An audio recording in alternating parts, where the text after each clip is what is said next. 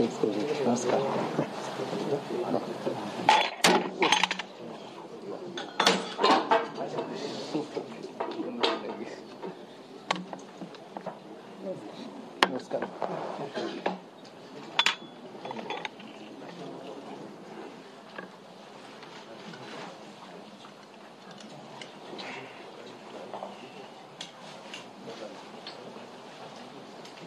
Accord being signed uh, between the government of India, the Union Home Minister Amit Shah present there, between the government of India, the Assam government, and ULFA, the United Liberation Front of Assam. Remember, this uh, follows a series of pacts that have been signed between militant groups in the northeast.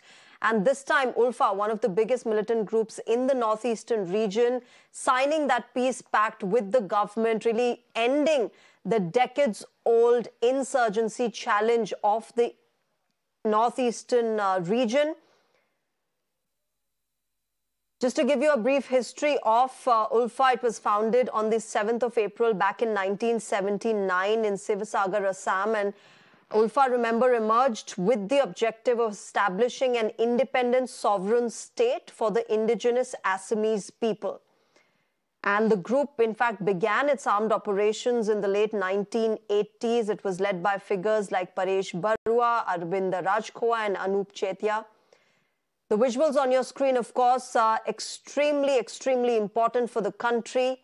An historic pact being signed there between the center, the Assam government, and ULFA.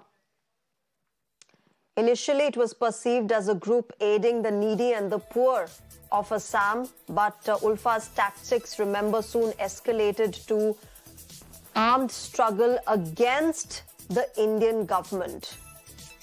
But those visuals on your screen ending that insurgency, that big, big insurgency problem that uh, the northeastern region, specifically Assam, has gone through over the past several decades, now coming to a close with ULFA signing a pact with the center, signing a peace accord with the government of India.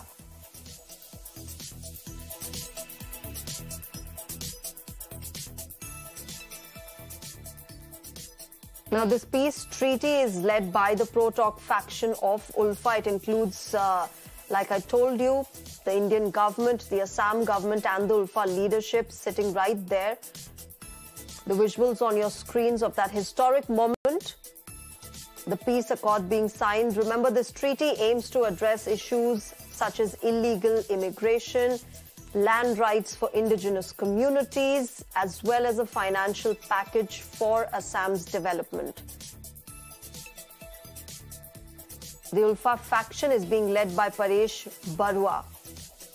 That, uh, in fact, he remained opposed to the talks, but my colleague Pulkit is joining us for more on this. Pulkit, important historic peace accord being signed between the government of India and ULFA ending a decades old insurgency challenge of the northeastern region, specifically the state of Assam. All right, we'll try and reconnect with Pulkit. His audio connection seems to have a bit of a problem, but there you can see the visuals on your screen. Union Home Minister signing that peace pact on behalf of the government of India, the ULFA, Assam government and centre reaching a peace pact, a tripartite peace accord that has been signed today. Remember, ULFA emerged as, uh, you know, a group that is going to be standing for the rights of the poor and the needy of Assam. But in the later years, it eventually boiled down to an armed struggle against the Indian government. In fact, in later years, the ULFA also saw significant shifts in its operations as well as ideology. There were some key arrests that were made. There were a few surrenders that happened. But that, all of that culminating to this historic peace accord being signed between the centre, the Assam government, Assamese Chief Minister Himanta Biswa Sarma there, along with Union Home Minister Amit Shah and the ULFA leadership.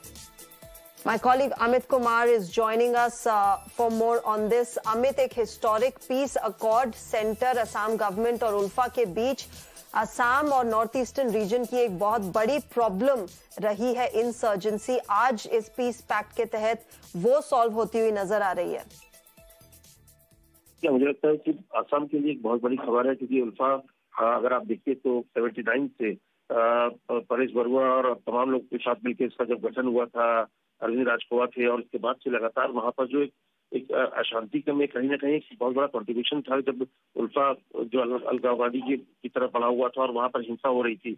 लेकिन सरकार और केंद्र सरकार राज्य सरकार और उल्फा के बीच एक बहुत बड़ा समझौता हो रहा है।